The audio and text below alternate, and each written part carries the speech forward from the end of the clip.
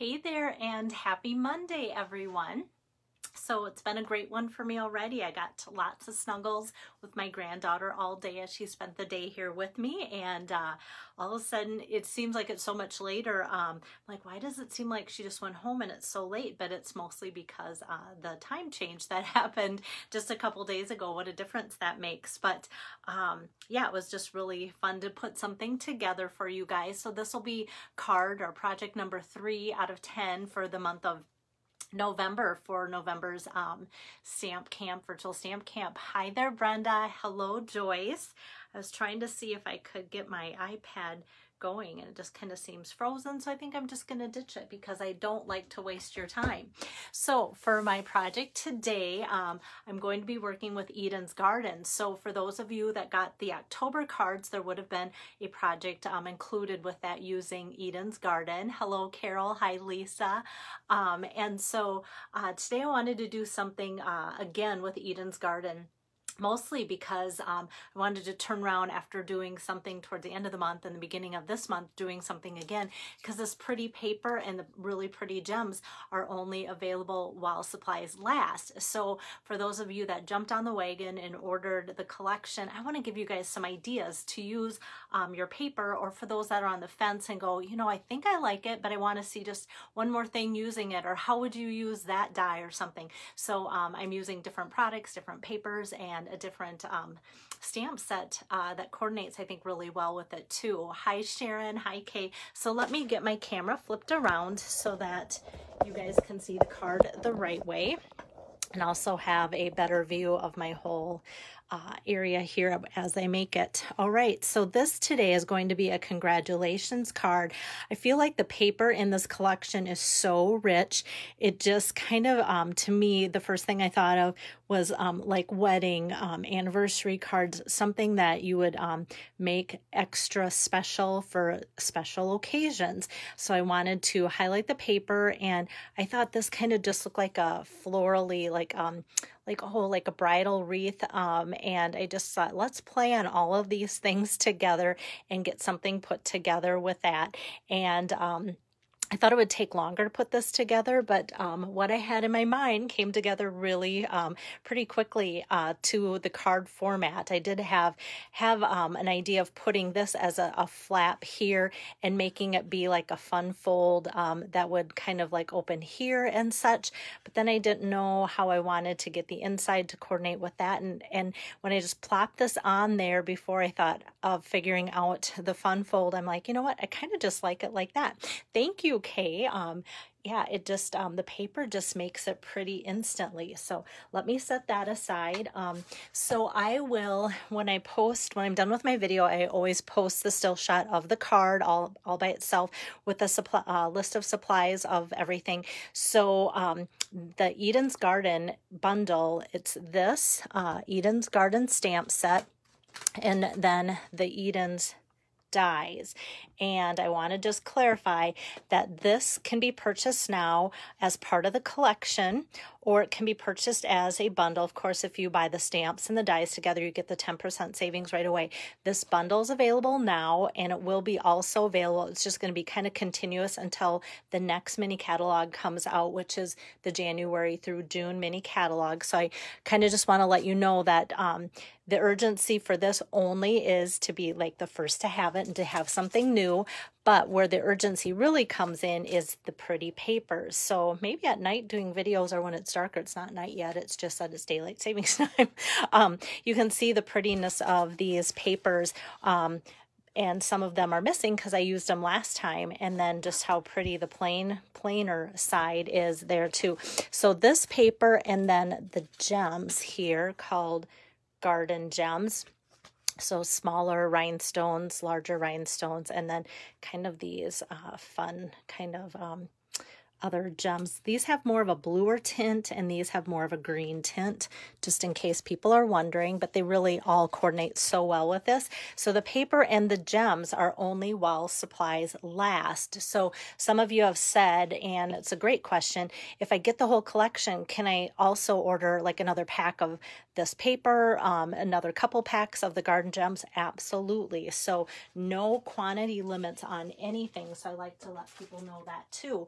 Um, and then before I get too far into making my card, the congratulations for this comes from the Peaceful Moments uh, stamp set from the annual catalog. And um, and I'm pairing it up with a sentiment from Eden's Garden, although um, if you have the stamp set, you go, oh, these two go together well too. But um, yeah, it's totally up to you. That's what makes card making fun is everybody can kind of do their own thing and make it work too. But that's the stamp set that I brought in for the congratulations. And I feel like that font just matches uh, the dies, the paper, and everything about the Eden's collection. So that's why I kind of put that together. So let me get to making the card for you guys tonight. And I'm going to bring over my cut and emboss machine. I think that's the best way to start with it. Um, the Eden's dies that I'll be using in just a bit, um, kind of like this little banner with an embellishment off to each side. And then this is kind of like that uh, fine florally look there. And then the other dies that are included is a much larger like frame and just a single little flower thing here. And then this is the one that I used on the cards that I sent out um, and probably made, was it last week or the week before, with that edging and stitch. So that's what's included in those dies. Um, I did want to add a little bit of texture to the card. So if you look closely, you can see this is what I'm going to start with. Um, what I'm using here today for cardstock colors is um, crumb cake and then the thick wisp or the thick basic white um, and then the green is evening evergreen and then ever eden designers series paper here. Um, so since this is the tasteful textile 3d embossing folder that i'm getting that um, extra texture from it's a 3d folder and this is cut two and a half inches by 3.75 and because that's 3D I just put the main platform here. I'll, I'll turn it around so you have that reference point. Um, platform number one and then I put in my folder with the cardstock in it. And then platform number four is what you want to use just those two when you're using 3D embossing folders. Hi there Priscilla. Hi Lois good to have you guys on here. So I'll run that through just to get that little piece um, embossed there. And because this is a 3D embossing folder, you can see, um, I, don't, I don't ever notice too much of a difference between front and back, but what I love about the 3D embossing folders is they really give a much um, deeper image uh, for your embossed products. So then this I'm going to set aside and then the next thing I'm going to do is do my die cutting. So I'll slide that main platform number one back over and then put number two on there and then one of the cutting pads. So I kind of just reload it. I call this the regular um, uh, format here. And then this is crumb cake with one of the Eden's dies here. And I'll just run that through.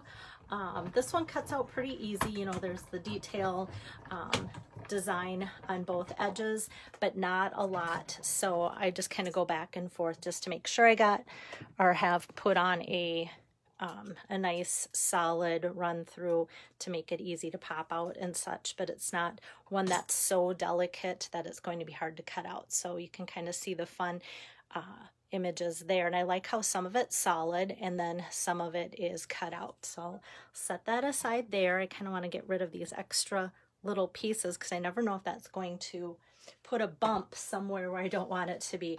Now because this one is a little bit more delicate, um, that's why I'm using the thick Whisper White excuse me, basic white. I still get stuck on our Whisper White because I love that. And then they just changed. I still, new stuff's good stuff. I just get stuck with that. It's Monday. I'm stuck with a name. So because it is a more intricate die, um, then I tend to go with a thick basic white just because I feel like it's easier to run through and then it's almost um, like it's easier to pop out and look how easy that comes out for being, you know, kind of delicate. It really pops out of the die really well. Hi there, Francis. So that I'm just going to set aside. Yeah, that's all the die cutting and embossing that I'm doing tonight. All right, so maybe that's why I thought um, from what I wanted the card to be and how it came together fast. Maybe that's why it came together fast because it was like, yeah, that really happened quick. um, and then before I start putting my card together, um, I want to show you the ribbon that I'm going to be using, and that is the Evening Evergreen I have to really adjust my lighting with it getting dark. Um, so Evening Evergreen, and it is the um, chevron weave ribbon. And I know I used this just last week or one of my recent cards for October. And I love how the chevron looks so great with the Tasteful Textile 3D embossing folder. So I thought, you know, I'm going to bring that out again because some of you have commented, I like it. I like to see things again. It's not like it's a repeat. It's an additional idea with products that I might already have or liked and bought the first time. So now I have something else to do with it. Um, so I'm just going to lay this down just so it sticks a little bit over each of the edges here. And then I'll cut it with my ribbon cutting scissor. I'm just going to pull gently at it, not a lot, just to give it a little bit of a ruffle on each end here. This one has a little bit of a long fray. I don't want that on there, just to kind of give it a little bit more texture and such. And to adhere that, um, here's my take your pick tool. I'm just going to take some glue dots, mini glue dots here. There is kind of a right and wrong side to this, so I want to make sure that I get that attached. I'll end up putting three mini glue dots, one at the top, one at the bottom, and one in the middle. And these glue dots work so well with ribbon. Kind of want it to look free-flowing and not just really stiff and um, stuck to it too much. So that's why this is perfect. And before I put it on there, I'm to look and go, you know what? It is sticking over just a hair. So then it's easy to go back. And I, it's kind of like it's to be like between an eighth and a 16th inch hanging over and it's actually kind of easier to fray it because when you um, flick it against the um, the pretty paper underneath, then it helps to kind of fray it. Okay, let me get rid of these little scraps. I usually just shuffle that onto my carpet. I'm hesitant today because I just vacuumed. okay, so let me uh, get out my adhesive here, my seal, and just run that across there because now it is ready to go on my uh, my card base. So this is Evening Evergreen here, and it's cut five and a, five and a half by four and a quarter um, with the fold at the five and a half there opening this way. Hi, Renee. Good to have you on here. And then I will just put this layer right on here like so. And then I'm going to kind of build up this and I think I'll do my stamping next. so that will be opening my evening evergreen ink pad. And it's kind of a tight fit, um, not uncomfortably tight, like is that going to go on there or not, but enough where I want to just get out some scratch paper so that I don't get evening evergreen ink on my workstation here. Just kind of center that like so. Yay. I always go, hmm, maybe I should have cut out another one just in case one didn't work, but I think that looks pretty good. um, and so with that, then that's ready to go. And I'm going to whoops, use this little piece of scratch paper again and pull out something that I haven't used for a while. This is in the catalog. It's the fine tip glue. Hi there, Marilyn. And um, with my fine tip glue, sometimes what I do is add just a few, like a couple squirts or a few drops of that green Tombow liquid glue, just to kind of get it just a tad thicker so it's not so um, runny and watery. And um, with that, it just seems like it sets up a little faster. I'm just dotting it here and there.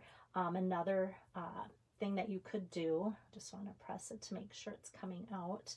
um, is you could take the adhesive sheets too. That works really well. Um, but I just thought sometimes with the adhesive sheets, then you're kind of losing that in the middle there like so too.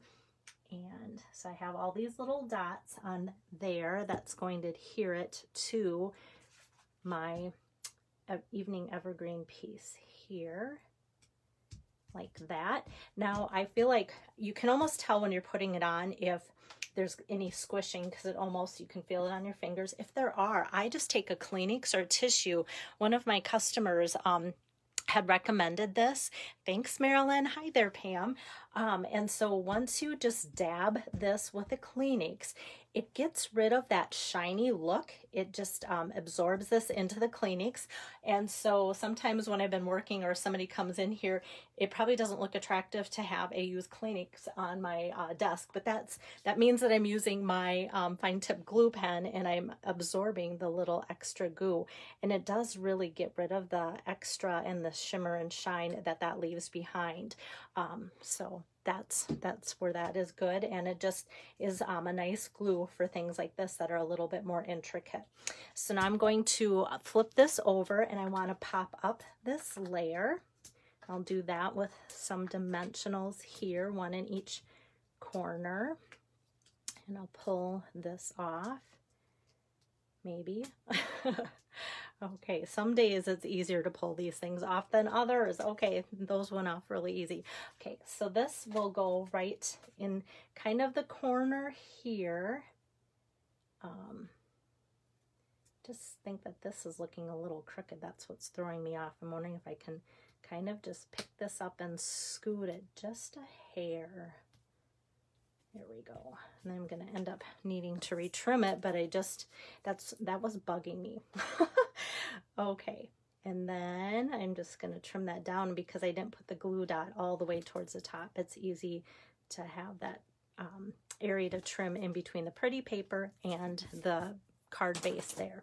Now I feel like this looks like it's in place better, you guys. It's kind of funny. Must be Critical Monday for me or something. All right, so I've got this on, and then the congratulations banner that's die cut with the Eden dies.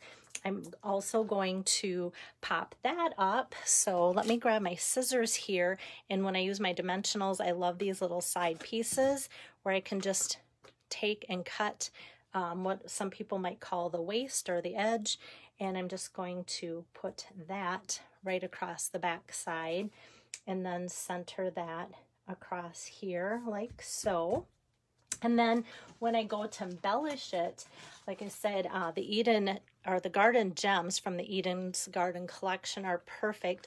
I started out with um, using these thinking like it'd be so great to put them kind of um, like horizontal on there, but there was more blue um, showing than there was green. And I thought, you know what? I think the green's just going to look like it's a perfect match.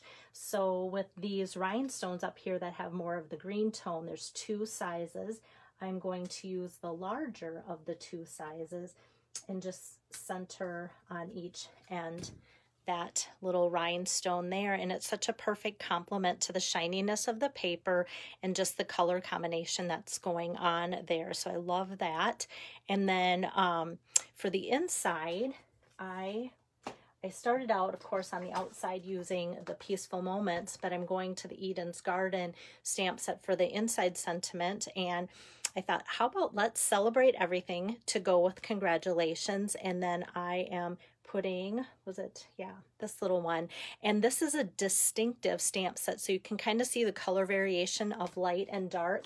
And I feel like when I use these little um, greenery images, you can see where that really makes a difference. So when I stamp out to the Let's Celebrate Everything, you can see some of this image in the floral underneath. These are two separate stamps um, but I just put them on the same block so that um, it's already lined up. So that always helps um, so I don't have to stamp twice and wonder if it's going to match up or not. So thanks, Pam. I did think it looked really classy. That's why I thought the paper being so classy needed like a congratulations card or something like that. But with the distinctive ink here, you can see that um, the sentiment comes out perfect and clear and dark, but the greenery comes um, lighter and darker on purpose. So the actual artists that designed the stamp set have it so that the um, the red rubber of the stamp is kind of etched to collect different amounts of ink, which I think is so pretty. It just adds a little bit more depth and something that's a little bit more different too. So that's going to be for the inside of the card here. And that will finish my card just like that. So for a kind of a classy card, sometimes when cards look extra pretty, they take longer, but not so bad with this one. Um, thanks, Lisa. Um, Lisa likes the card, and it's not even blue. Just kidding. I am starting to become a green fan too, because I think there's something that's just classic and timeless about green. And Stampin' Up! has done so many great things with uh, some of the pretty green papers and such. So here's today's uh, four, excuse me, let me clean this back off. November Stamp Camp virtual um, projects, 10 of them this month. This is number three that I'm working on. And there we have the inside. Um, Yes, and a lot of you, yes, are excited. Priscilla said, I just got it. And a lot of people really jumped on getting this. So I got lots of texts and excited people over the weekend and today saying, my, my stuff arrived. So um, that was really fun to see and probably good timing that I'm doing this video. So if you have the products now in your hands, you can go, I can make that now. so very good. Thank you, Lois. Thanks so much. So let me get this flipped around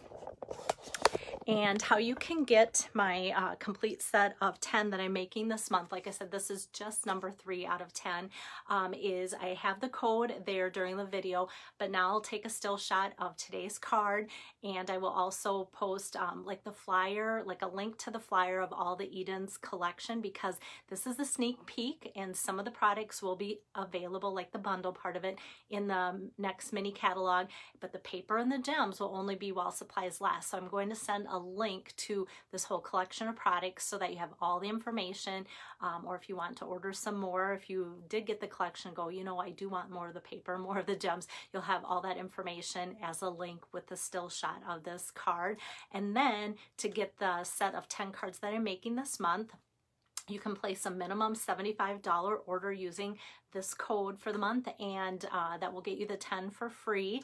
Um, or if you go you know I just want the cards and the cards uh, set of 10 cards are $25 just let me know and I'll add you to uh, my list that I have going on this month. If you have any other questions let me know because don't forget if you want to contact me uh, about saving some money and joining Stampin' Up it's just $75 right now. So it's a great discount. You can um, go to my website and then sign up it costs $75, but you get to order $125, free shipping. I had somebody sign up today and I'm really excited about Pam joining my team because um, years ago, like close to 30 years ago, before I was a demonstrator, Pam and I and our other friend Jody, we would get together almost every Sunday afternoon and stamp together. And so she just signed up. So sometimes when I mention like, hey, it's a good time to sign up. Sometimes it takes 25 to 30 years for that to sink in for people. but I'm so glad she did and I'm thrilled to have her on my team. So it's an exciting day for me. And if it's an exciting day for you too, let me know and I can help you get started with that as well. Have a great evening, guys. See you tomorrow. Bye-bye.